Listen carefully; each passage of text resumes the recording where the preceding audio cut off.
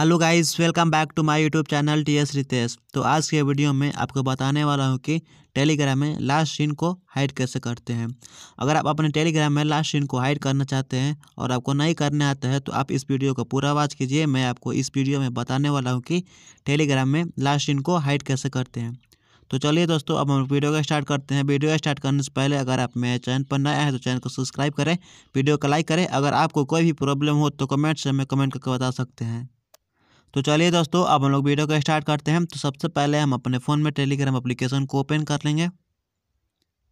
तो देखिए दोस्तों, यहाँ पर हमारे सामने टेलीग्राम एप्लीकेशन ओपन हो गया तो सबसे पहले हम लोग को करना है, यहाँ पर ऊपर में थ्री डॉट का ऑप्शन शो कर इस पर हम लोग क्लिक कर देना है। तो देखिए दोस्तों, यहाँ पर हमारे सामने इस पर इंटरफेस खुल जाएगा। तो हम लोग यहाँ पर देखिए दोस्तों, नीचे सेटिंग का ऑप्शन शो कर रहा होगा, इस पर हम लोग क्लिक कर देना है। तो देखिए दोस्तों, यहाँ पर हमारे सामने इस प्रकार इंटरफेस खुल जाएगा हम लोग नीचे स्क्रॉल करेंगे तो देखिए दोस्तों, यहाँ पर प्राइवेसी एंड सिक्योरिटी का ऑप्शन शो कर रहा है।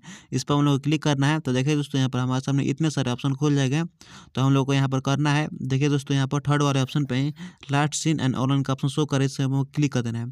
तो देखिए दोस्तों, यहाँ पर हम लोग के सामने इस प्रकार इंटरफेस खुल जाएगा तो देखिए दोस्तों, यहाँ पर ऊपर में लिखा हुआ है who can see your last seen time तो आप लोग को यहाँ पर से नो बॉडी कर देना है। तो आप लोग आपका कोई जब ऑनलाइन आएँगे टेलीग्राम में, आपको कोई भी नहीं देख पाएगा कि आप ऑनलाइन है या ऑफलाइन है। यहाँ पर नो बॉडी कर देना है तो आप इस प्रकार से अपने टेलीग्राम में लाइव सीन को हाइड कर सकते हैं। और यहाँ पर देखिए दोस्तों, ऊपर में सही का टिक शो कर रहा है, इस पर हम लोग क्लिक कर देना है, यहाँ पर सही का कर देना है। और देखिए यहाँ पर ओके कर रहा है, यहाँ पर ओके कर देना है।